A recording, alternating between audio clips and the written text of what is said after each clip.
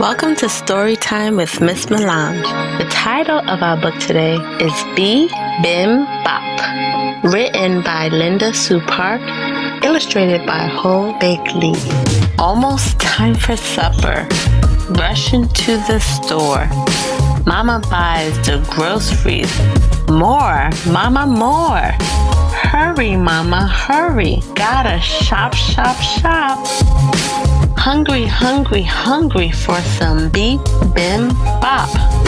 Home and in the kitchen, eggs to stir and fry. Mama catch the spatula, flip the eggs high. Hurry, Mama, hurry, gotta flip, flip, flop. Hungry, hungry, hungry for some bee, bim, bop. Rice is on the boil, bubbling in the pot. White and sticky lickety, steaming good and hot. Hurry, flurry, rice, gotta pop, pop, pop. Hungry, hungry, hungry for some bee bim bop. Mama's knife is shiny, slicing fast and neat.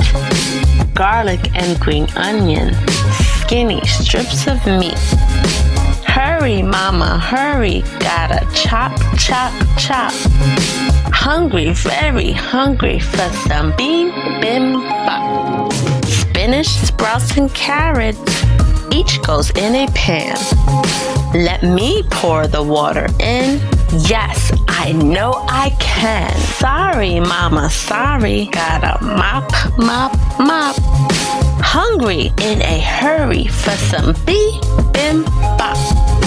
Bowls go on the table, big one striped in blue. I help set the glasses out, spoons and chopsticks too. Hurry, family, hurry, gotta hop, hop, hop. Dinner's on the table and it's bim, bop. Quiet for a moment, Papa says the grace. Everybody says amen, a smile on every face. Rice goes in the middle, egg goes right on top. Mix it, mix like crazy. Time for a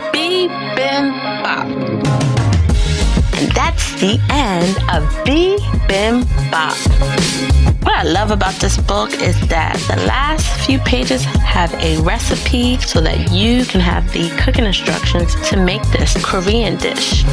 So tell me, what is your favorite dish growing up? Feel free to place your answer in the comment section. Make sure to hit thumbs up if you like this video and subscribe so you can be notified of new stories.